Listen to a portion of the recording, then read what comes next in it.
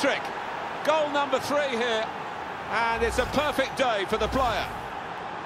It's turning out to be an embarrassing scoreline, really, as we're underway again.